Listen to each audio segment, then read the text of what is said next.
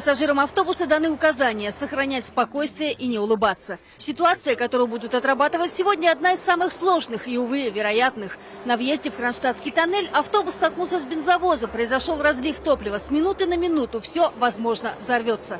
Но ни по сценарию учений, ни в жизни такого не допустят. То, что происходит сейчас, тоннеле надо объяснить. Надо на зеленом автомобиле на специальном подъемнике направлять тепловую пушку на датчики. Как только они сообщают о повышении температуры, начинается подача воды. Поступает из Финского залива в неограниченном количестве до тех пор, пока огонь не погаснет. Машины условно поджигают не только ради красивой картинки, в первую очередь, чтобы проверить внутренние системы безопасности комплекса защитных сооружений. Первые 10 минут до прибытия расчетов система должна отработать самостоятельно. И судя по тому, что с потолка хлынула вода, датчики отреагировали адекватно. А вот и пожарные.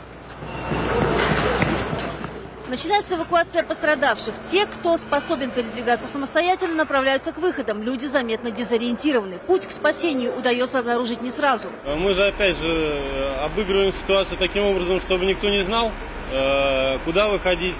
И никто не был оповещен об этом. Поэтому здесь и как раз сработали службы, которые впоследствии и направили потоки эвакуируемых.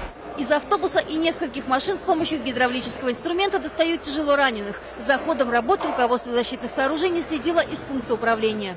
Если бы вы были, например, в центральной диспетчерской службе, вы бы просто там оглохли от докладов э, всего того, что происходило. Это сложная совместная работа. Тоннель это вообще очень э, живой организм.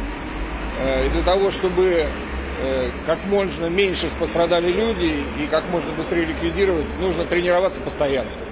В масштабных учениях приняли участие пожарные подразделения Кронштадтского, Приморского и Красносельского районов. Всего с учетом статистов около сотни человек.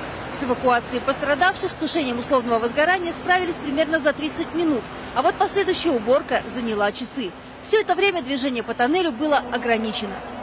Юлия Васильева, Александр Глебов, Олег Скоков, Вести Петербург.